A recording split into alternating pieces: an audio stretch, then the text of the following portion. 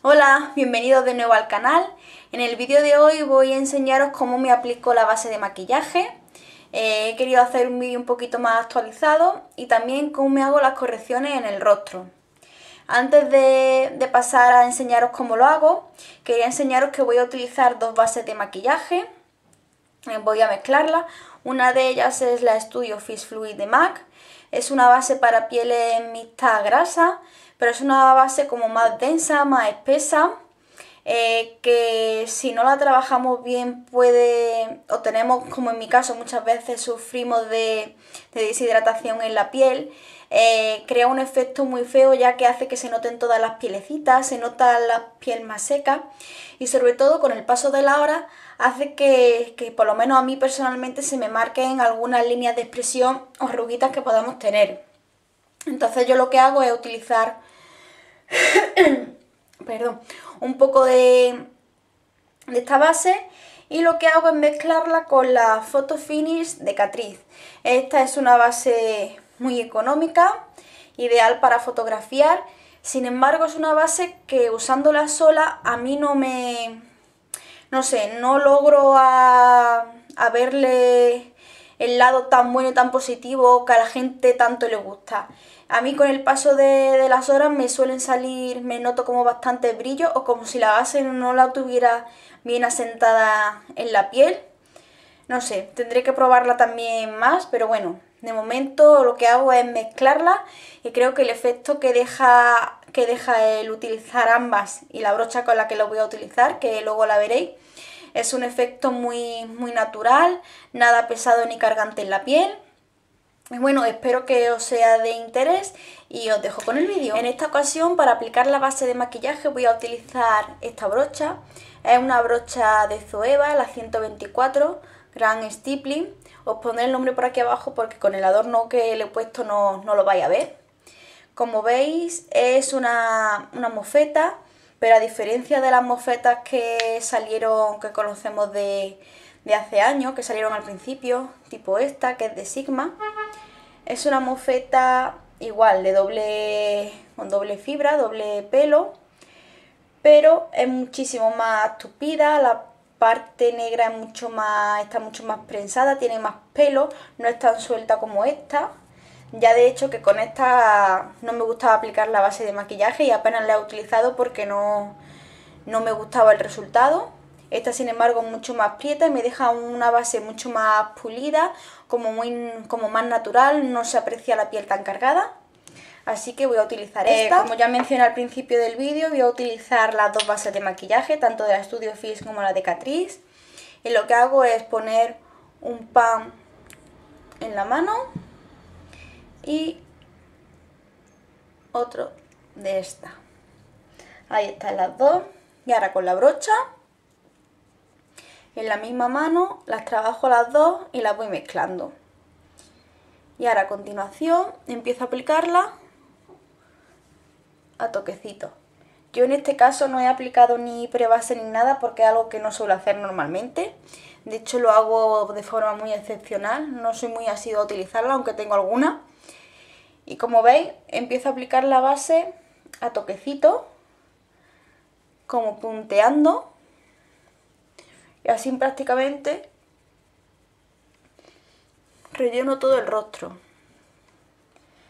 Cuando ya veo que está casi todo lleno de base, pues empiezo a pulirla un poco.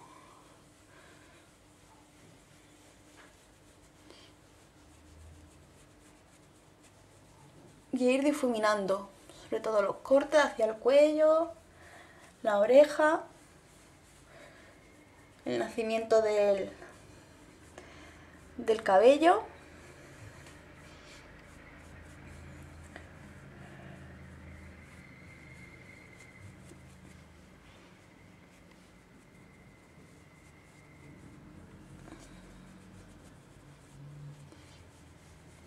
Como veis creo que se aprecia que el resultado que queda muy natural a pesar de que la Studio Fizz es una base como bastante pesada y muy cubriente el efecto que queda tanto al mezclarla con, la otra base, con la Photo Finish, como al aplicarla con esta, con esta brocha,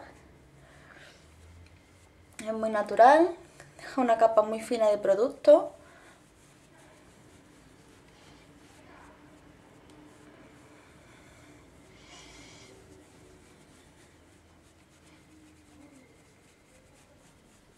Y bueno, yo creo que ya está bien. Ahora, a continuación lo que voy a hacer es aplicar el corrector. Yo estoy utilizando este de, Maybelline. Y este el tono es el más clarito, el light, vale. Le doy una vueltecita por si acaso y lo aplico principalmente al principio, donde tenemos la ojera y un poco como en el lagrimal. Y con esta brochita de aquí, esta no tiene nombre ni nada porque es de Vine Coins, o sea que podéis encontrarlas como imitación a las Sigmas también. Y Jumino. Este corrector lo que me gusta es que queda bastante integrado en la piel y tampoco hace falta trabajarlo mucho.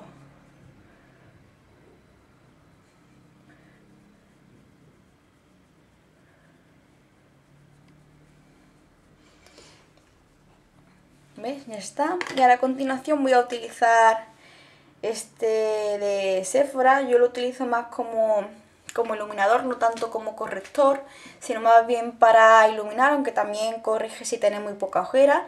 Es también en el tono más clarito y contiene también ácido hialurónico, por lo tanto es hidratante. No sé si siguen estando, la verdad es que lo tengo desde hace bastante tiempo y es en el tono light también. 02. Este viene con pincelito. Giramos igualmente. Y lo voy a aplicar de aquí hacia atrás. Queremos bajar un poco hacia aquí para dar un poco de luz a esta zona y aclararla.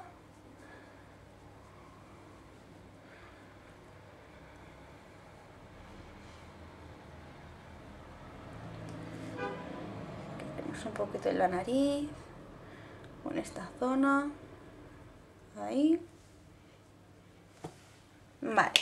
Y con el mismo pincelito.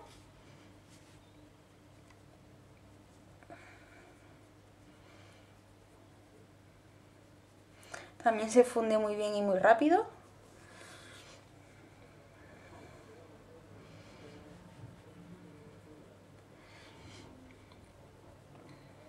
Y lo mismo, voy haciendo como movimientos circulares para ir fundiéndolo.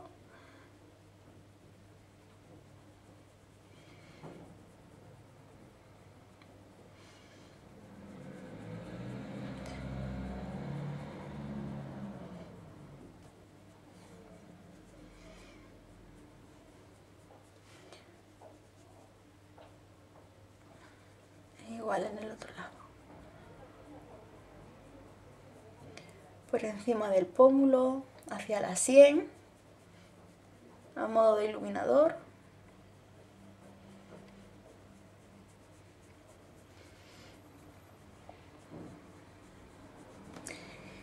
Y bueno, yo por ejemplo no voy a tapar nada más porque aquí se pueden apreciar unos granitos, pero bueno, más que el arrojé lo que se ve es el bultito. Queremos dar un poco con la brocha del maquillaje por si acaso queda un poquillo de corte para que quede integrado con la base. Y ya estaría. Ahora, a continuación ya voy a aplicar mi, lo que es el polvo para sellar la base. Yo estoy utilizando los Mineralize de MAC que como veis ya están bastante gastadillos. Estos son en el tono light. No sé si se puede ver bien. Ahí. Y a ver, porque tengo la tapita está rota. Ahora. ¿Veis? Son estos de aquí. Y lo aplico con, con esta brochita para polvos también. Esta es de Zoeva. Ahí tenéis el nombre. Y tomo producto.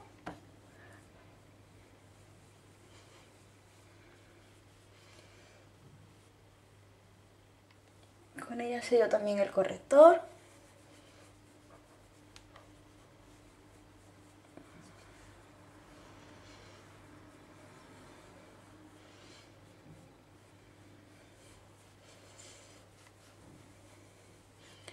Bajo un poquito por aquí. Y bueno, hoy ya tendríamos sellada nuestra base de maquillaje.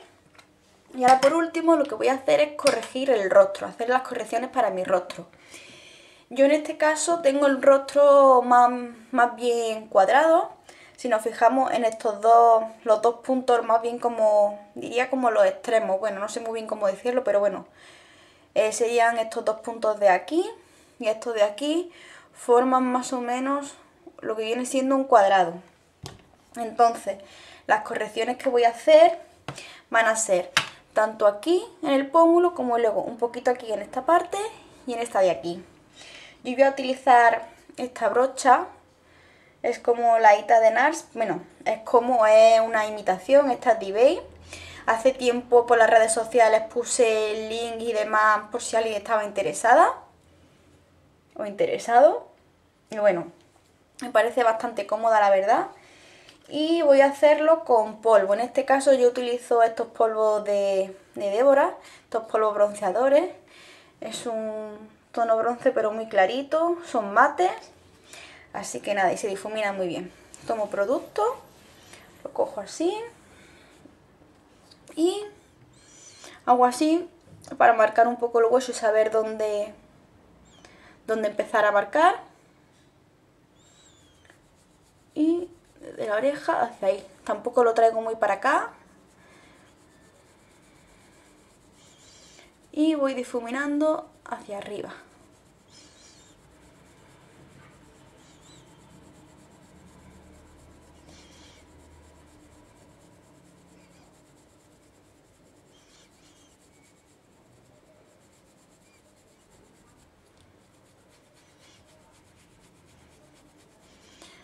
Esto trabajarlo un poquito más.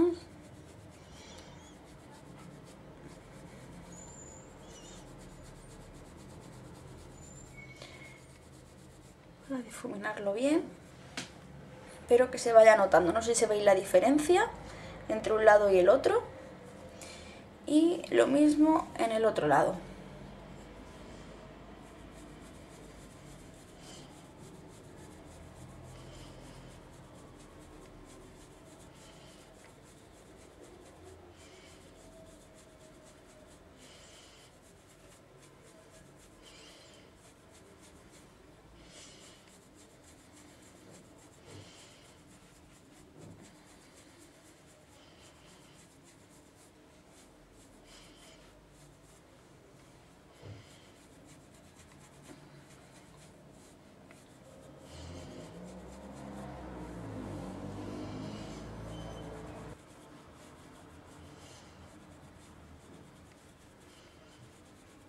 Yo siempre suelo subirlo un poquito por aquí, así como en triángulo.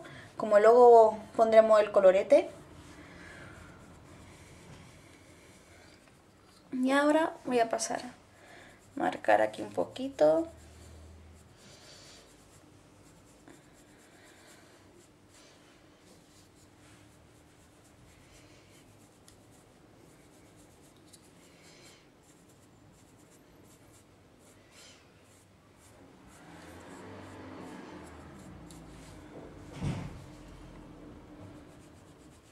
Y aquí abajo también.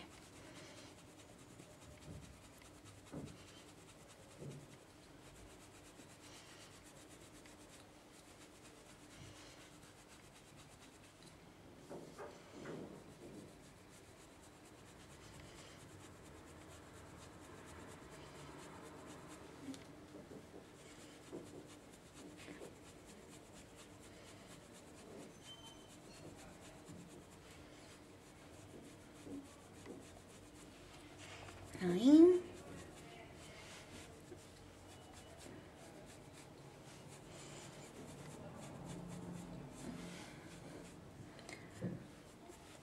Bueno, y ya tendríamos listo el rostro.